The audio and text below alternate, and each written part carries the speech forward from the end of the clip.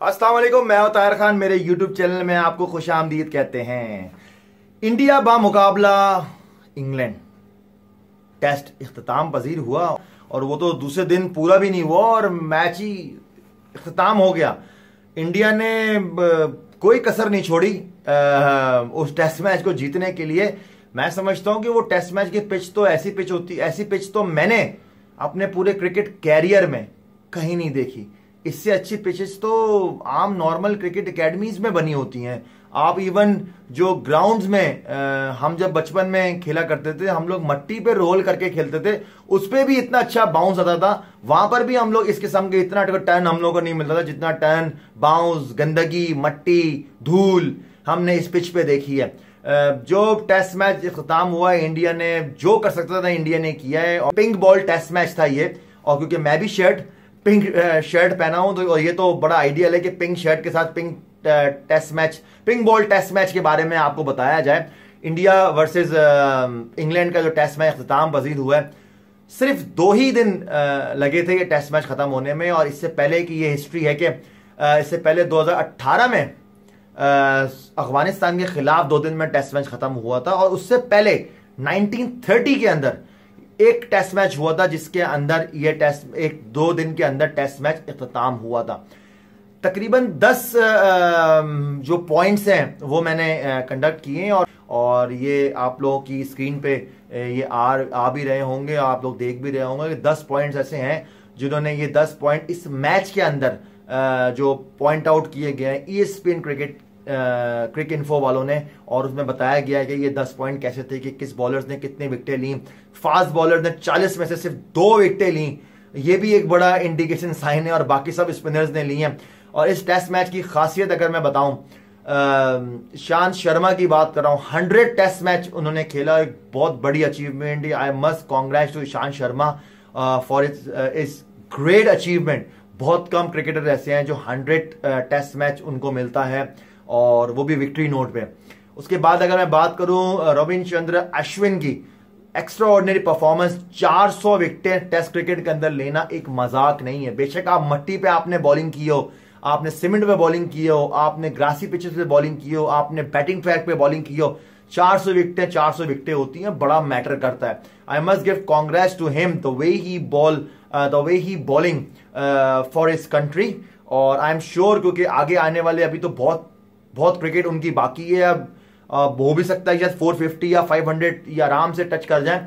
Depend करता है कि इनकी फिटनेस पे और इनके पैशन पे। पैशन इनका बड़ा ज़बरदस्त है। और जैसे कि इंडियन क्रिकेट कैप्टन है विराट कोहली ने अपने उसमें बोला है कि मैं बहुत लकी हूँ कि मुझे ऐसे मैच विनर बॉलर्स मिले हैं, जिन, जिनको मुझे ज़्यादा बताना नहीं पड़ता, वो खुद अपने पर्टिकुलर उनके गोल्स हैं और वो वहाँ से मुझे विक्ट्री देते हैं। जब जब हमें विकेट चाहिए होती है, तब तब वो लोग हमें विकेट देते हैं और यही एक क्लास होती है अच्छे बॉलर्स की।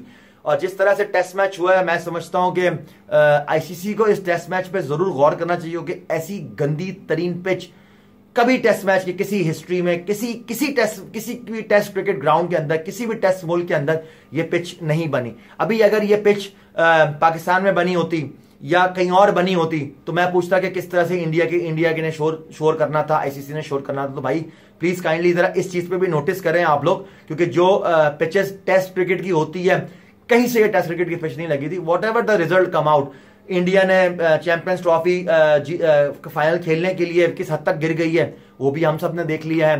क्रिकेट बहुत खराब हुई है, जो रूट जैसा जब पाँच खिलाड़ी आउट कर रहा होगा तो फिर आप लोग समझ सकते हैं कि वो पिच पे क्या हो रहा होगा। Pink ball obviously double grace ball होता है। उस पर डबल लेयर चढ़ी हुई होती है ताकि उसकी वो जो शाइननेस है वो खत्म ना हो और वो ऑब्वियसली स्किड होती है।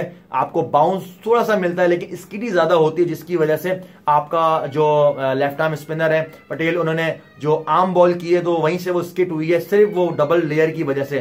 तो ये एक सबसे बड़ा एडवांटेज था। और जिस तरह से टेस्ट मैच हुआ है आई एम श्योर कि आगे जो भी टेस्ट मैच हो इंडिया के अंदर इस किस्म के पिचेस पे नाउ आई रिक्वेस्ट नहीं तो एक पिक्चर मेरे पास डाली थी किसी ने कि फोर टेस्ट मैच था और उसमें दिखाया गया था कि हल चल रहा है और बस मट्टी है। उस पर वो कह रहे हैं कि जी फोर टेस्ट मैच की पिच तैयार हो रही है।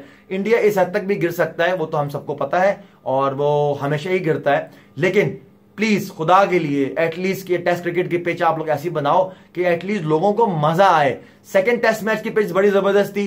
फ़र्स्ट टेस्ट मैच की पिच बड़ी ज़बरदस्त थी, जिसमें रन भी हो रहे थे। सेकंड टेस्ट मैच में मैं देखा अश्विन ने सौ भी किए थे। आप खड़े हो गए तो रन करोगे, लेकिन इस किस्म की पिच पे, जिसमें रन ही नहीं बन पा रहे हैं, और क्लास सबसे अच्छी चीज़ थी कि जो दूसरे दिन मैच का खत्म हुआ टेस्ट मैच का, उसी दिन ऑस्ट्रेलिया वर्सेस न्यूजीलैंड का टेस्ट मैच हुआ था जहाँ पर 400 समथिंग रन बने थे टी ट्वेंटी के अंदर।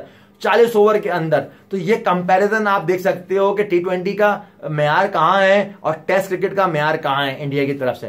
तो काइंडली मैं आई एम श्योर कि ये जो भी अगर किसी ने भी ये वीडियो देखी या नोटिस किया तो एटलीस्ट पिच पे ज़रूर नोट किया जाएगा क्योंकि पिच हमेशा से इंडिया की ऐसी ही रही है। अब पता नहीं कि इंडिया कब अपना जो बुजदिलपन है वो निकालता है और एक अच्छी तगड़ी पिच बनाता है जहाँ पर दूसरी टीम उनको टफ टाइम देगी।